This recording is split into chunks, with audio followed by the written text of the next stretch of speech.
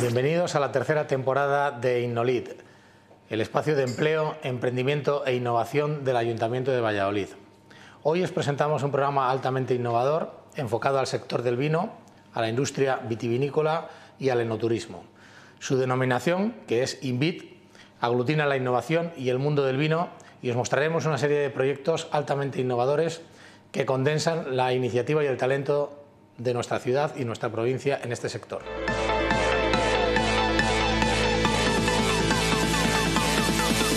Valladolid fue la que se lanzó cuando surgió esta idea de Invid, ¿verdad, Mario? Hace ya tiempo que se plantó esta semilla de estas vides y que han ido creciendo pues, a lo largo de, muchos meses, procurando hacer un, proyecto que fuera capaz de coger como un buen vino muchos matices, los matices del, conocimiento, de la innovación, de la creación de comunidad, del aprendizaje, no solo técnico, empresarial, sino también del vivencial, ¿no? de, compartir, de compartir y de aprender a entendernos unos mismos como empresarios y aprender a entender las necesidades de nuestros clientes. Creo que en eso habéis estado trabajando y habéis trabajado muy bien tanto los, digamos, nuestros emprendedores y los mentores y los conferenciantes que habéis estado todos trabajando de una forma pues, unida, formando esa comunidad INVID, que me ha dicho Modesto que así os habéis bautizado y me parece pues, un nombre muy, muy logrado. Participar en INVID ha sido una experiencia fabulosa. Eh, parece que cuando uno lleva muchos años dedicado a, este tipo de cosas, eh, ya se ha aprendido todo, pero no es cierto. Eh, siempre se aprende algo nuevo. He aprendido mucho de los participantes y de todo el proceso eh, que ha supuesto la preparación y el lanzamiento de INVID. INVID es una preaceleradora o, eh, si lo prefieren, una escuela de emprendedores. Es un lugar donde las personas que tienen inquietud eh, por emprender pueden venir para adquirir conocimientos metodológicos fundamentales para testear sus ideas. Invid te ayuda a validar tus hipótesis de negocio, es decir, te ayuda a determinar si realmente hay una oportunidad de negocio detrás de esa idea que persigues. Todo el proceso dura siete semanas, así que es muy intenso. Las personas eh, no solo trabajan durante las sesiones que tenemos en la escuela, sino en los periodos entre sesiones. Hay mucho que hacer, eh, el emprendedor o el futuro emprendedor, deberíamos decir, eh, tiene que salir a la calle y entrevistarse con eh, sus potenciales clientes y otros agentes del entorno de su idea de negocio.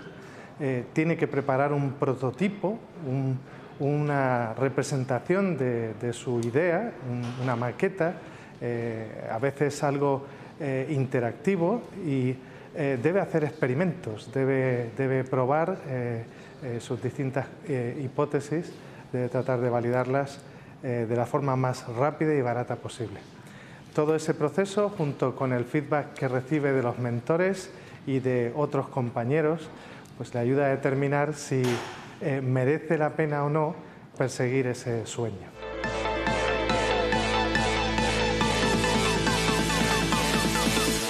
Bueno, a lo largo de estas siete semanas eh, ha sido todo un reto, creo que tanto para los proyectos que se han presentado como para los mentores que hemos participado, que se ha pasado volando. Eh, yo como mentora del proyecto eh, de vinos de Patricia, pues quiero valorar su, el desarrollo que ha tenido su proyecto porque ha sido mm, muy, muy, muy importante desde su idea al principio hasta que ha llegado al día de hoy con, la presentación que hará esta tarde y desde luego orgullosa de, ella y del proyecto que, ha desarrollado. Bueno, un, trabajo muy, muy interesante por parte de los, eh, eh, promotores de estas ideas, de estos proyectos, eh, muy necesario que mm, transcurran por el proceso que aquí se ha vivido en unas semanas que han sido cortas, aparentemente sí han sido muy intensas.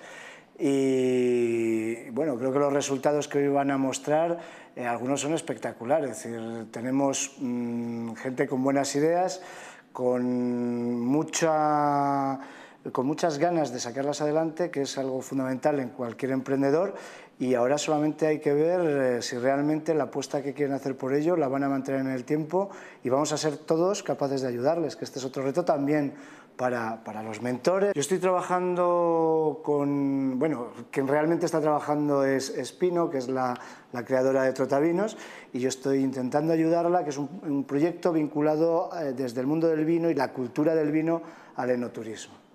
Eh, bueno, creo que todos los proyectos han sido muy, muy interesantes desde el inicio. Eh, el desarrollo de todos ellos ha sido muy enriquecedor para, tanto para ellos como también para los mentores, que hemos aprendido mucho de, del tema del vino, que a lo mejor eh, no todos conocíamos del tema de, este sector. Y creo que es valorable positivamente todos los proyectos. A lo mejor sí que no todos están en la misma fase de desarrollo, eh, no están en la misma etapa, unos están más evolucionados, otros están muy al inicio, incluso ha habido cambios de algún proyecto de empezar de nuevo, pero creo que solo podemos hablar de cosas, de cosas positivas y de lo mucho que han, que han trabajado en estas siete semanas. Yo lo que, lo que me ha servido y lo que he visto en, en este proceso es que realmente un, un sector que parece a simplemente eh, a primera vista estático, eh, le han sacado punta y han encontrado elementos de innovación muy interesantes. Eh, y sobre todo muchos de ellos además con gran transversalidad, es decir, que hay proyectos que se pueden apoyar en otros para ofrecer más valor todavía, si cabe. ¿no? igual que mi compañera, hay algunos aspectos que tal vez necesiten tener un testeo mayor en el mercado luego, que, que eh, porque partimos de, de, supuestos que hay que contrastar, pero habría que tal vez contrastar algunos más, pero en, en principio ha habido cosas muy, muy, muy interesantes que si no se pueden desarrollar ahora, se irán desarrollando en la medida que se vayan eh, contrastando esos aspectos que faltan. Eh, bueno, yo me enteré del proyecto Invid por casualidad, ¿no? me lo comentó un amigo y justo estaba yo en una fase de emprender, emprender un proyecto que estaba muy a los inicios, yo tenía una idea, sabía más o menos cómo llevarla a cabo, pero me pareció, me pareció una buena oportunidad el apuntarme al programa y ver, y ver qué pasaba, ¿no? o sea, un poco como, bueno, voy a ver qué pasa. Y, y luego realmente mi sorpresa ha sido muy grata porque me he encontrado con que, o sea, me he sentido como mi idea inicial, me han desnudado de todo el entusiasmo y todos los adornos que yo tenía hasta, hasta dejarlo en la esencia. Y, a partir de esa esencia he empezado a crecer otra vez. Entonces, creces como, una base mucho más realista, ¿no? Y luego con el apoyo de los mentores, de gente muy profesional que ha pasado ya por nuestra fase de emprendimiento, que sabe qué errores se cometen habitualmente y que con su apoyo pues, nos ayudan a cometer menos errores o, a ser conscientes de por aquí vamos bien, por aquí vamos mal. Y, bueno, yo creo que ha sido eso, ¿no? Ha sido o sea, un acompañamiento durante siete semanas para que tu idea primero decreciera para volver a crecer con fuerza y, con la seguridad de que es una idea que está validada, que la hemos validado nosotros mismos gracias al, al programa INVID y al apoyo de los... Yo, sin embargo, fue un poco diferente. Yo eh, me enteré del proyecto ya casi, casi al límite de, de, de, tiempo para poder presentarse. Tenía una idea ahí que me estaba rondando desde hace muchísimo tiempo y dije, bueno, pues esta es la mía. Preparé el proyecto rapidísimamente, mm, día, día y medio, lo mandé, me seleccionaron y luego la experiencia ha sido sensacional. Porque cuando tienes una idea, cuando tienes un proyecto que te ronda la cabeza, normalmente vienes con muchas ideas preconcebidas. Y cuando llegas aquí, lo primero que hacen es quitarte todas esas ideas. dicen, olvídate de tu idea, olvídate de tu proyecto, busca un problema, busca una solución, céntrate en eso y mira a ver si realmente tiene sentido lo que tú estás proponiendo. Y lo que hemos visto en estas semanas es justamente eso, el hecho de que te enseñan a ver si lo que tú tienes realmente es algo válido o no, o si te has equivocado. Y yo creo que de momento los dos hemos podido comprobar que vamos por buen camino.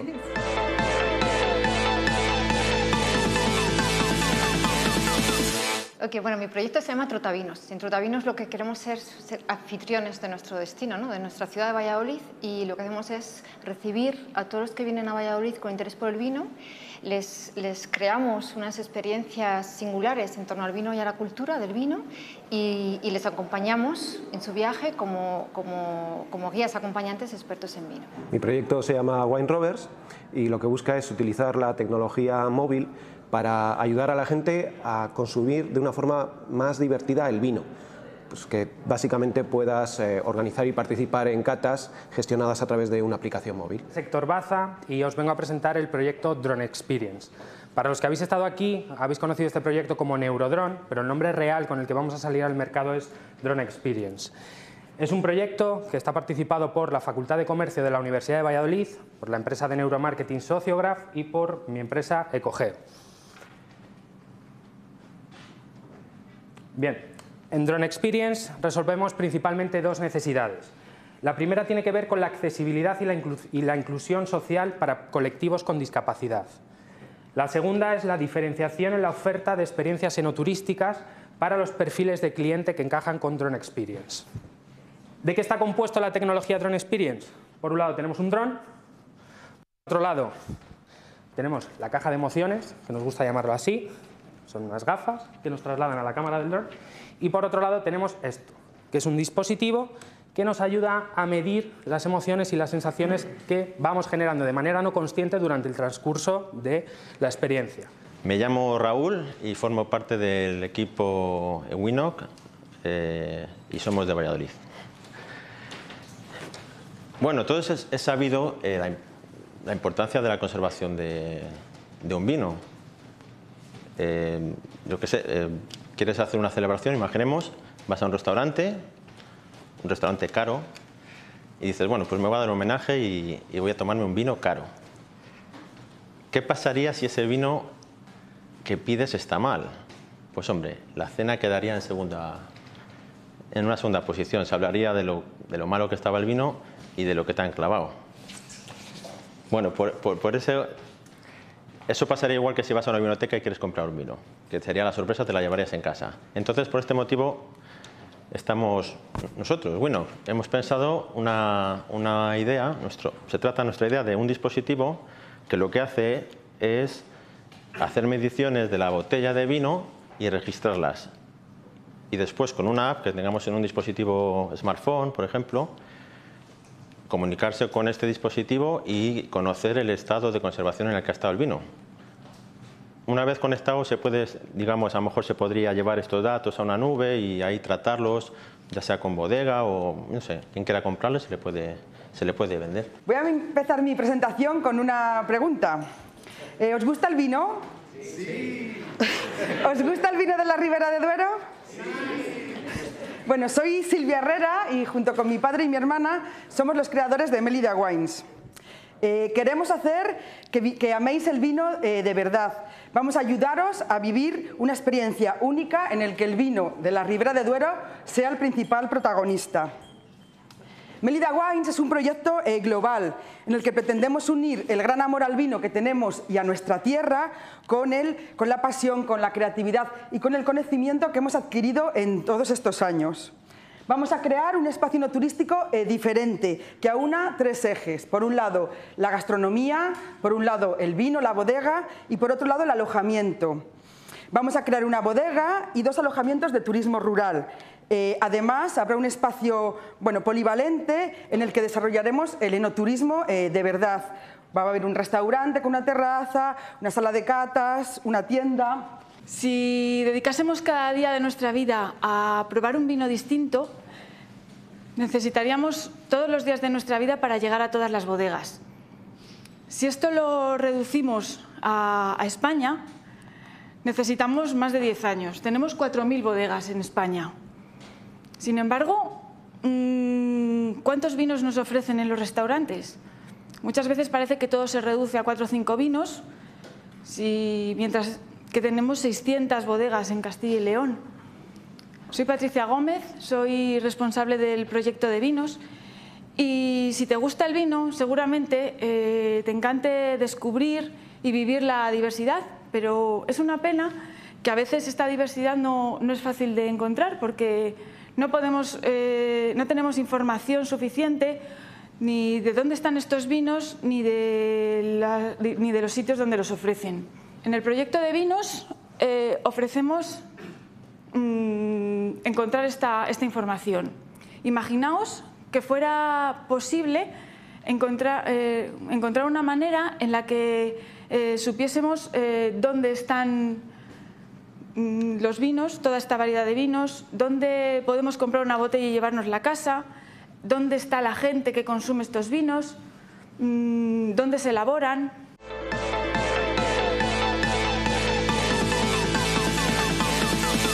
A lo largo del programa habéis podido comprobar que hay proyectos altamente innovadores y de muchísima calidad en torno a este sector. Ha sido una experiencia altamente positiva. Eh, Invid eh, ha sido la capacidad de aprendizaje de tanto de mentores como de participantes como agentes del sector. Juntos hemos construido un prototipo, una primera edición y sobre todo una comunidad, la comunidad de Invid. La comunidad de Invid eh, pretende eh, perdurar en sucesivas ediciones y en otra serie de iniciativas y dar lugar a más proyectos. Pero Invid no hubiera sido posible si la participación de expertos, como Mario López de Ávila, experto en startups y en aceleradoras de proyectos, sin la participación de bodegas, agradecemos a Carlos Villar de Bodegas Proto su participación, bodega pionera en la denominación de origen Ribera del Duero, Alberto Guadarrama de Matarromera como director de I+D+I en, en proyectos tecnológicos ligados al vino, o a Brais Iglesias de Ribeiro, Bodegas Valdesouto, con su iniciativa de bodegas familiares y darle la enhorabuena por su premio al vino Benedictus Fructus.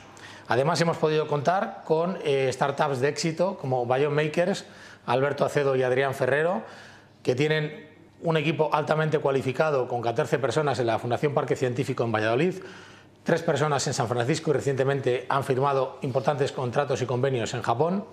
Y también un importante equipo de mentores, de los cuales vamos a citar solo algunos de ellos, a Claudia Miller con Binarius, con su proyecto de guardería del vino en una cava romana, a Rubén Bujeda de 1.300 gramos, con su agencia de comunicación en la Plaza de Cantarranas y su espacio de Rana Cowork, a Beatriz Calvo en, eh, a Todo Training, en fin, un equipo de mentores que eh, nos quedaríamos cortos citándolos a todos y además el equipo de la agencia.